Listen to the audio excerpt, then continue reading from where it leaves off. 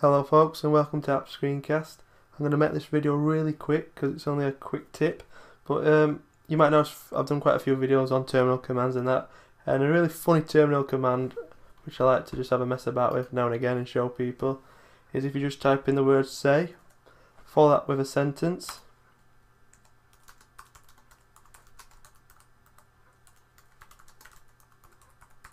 then follow that by with uh, enter Hi, I'm your computer talking. you can get your computer to talk. So all you have to do is type say, and anything you type in after that, your computer will, will uh, read it.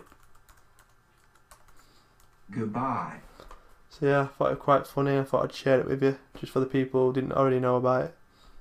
So yeah, thanks for watching, and I'll see you later.